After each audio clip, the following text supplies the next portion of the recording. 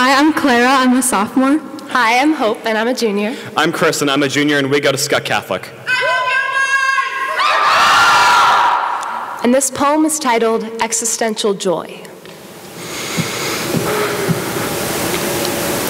I'm lying, eyes closed, in the corner of an empty choir room, wishing it all away, the autoplay piano assisting my cause. Mozart trickles drop by drop into my ears and collects in my lungs. But the next minute, I'm not alone.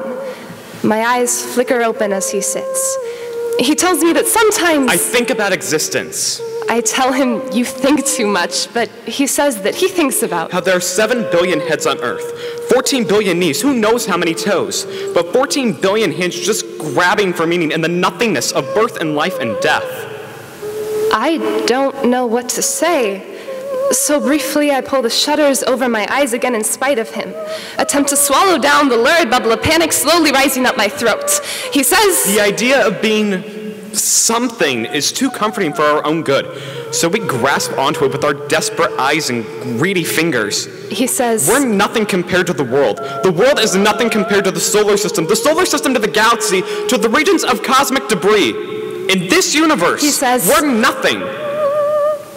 I say, Oh. I drop an index finger onto my smooth temple, rub the skin on my forehead creasing. I listen a little closer to the melody, focusing on the E natural that is all I can hold on to. He says, That's why I don't believe in God. Because sometimes humans put meaning into things that don't have meaning. I squeeze my eyes just a bit tighter, draw circles on my palm with my index finger. When the sun devours the planet, it'll be like we never existed. E natural, just We're listen! nothing. Slowly, I sit up, draw my legs toward my faltering chest, press my forehead into the roughness of my knees. Even with the sonata, the quiet is unbearable. We're the only things in this universe that can write.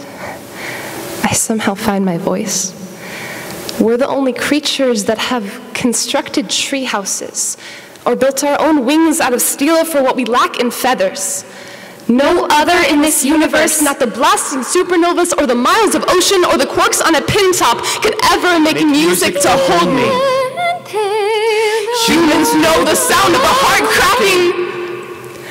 But we're still walking around this clump of rock because despite carrying desperation in the fissures of our spines, despite, our, nothingness, we somehow know love. And however many ears or bony stick arms will exist on this planet before the sun goes out, you are alive.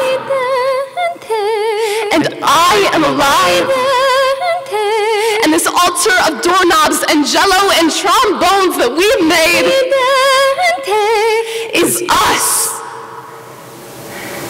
And I think that is very certainly something.